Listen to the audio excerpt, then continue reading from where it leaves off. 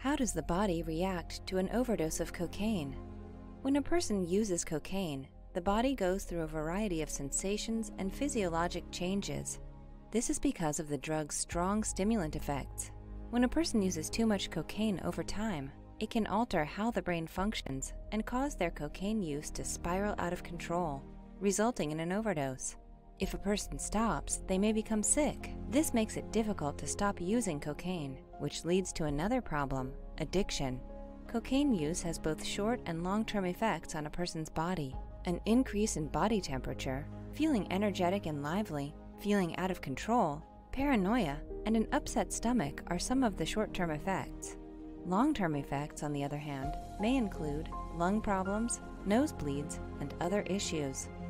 Furthermore, the brain and body become dangerously overstimulated during a cocaine overdose, resulting in a situation where common cocaine effects, such as nausea, tremors, sweating, and increased heart rate, are elevated to potentially lethal levels.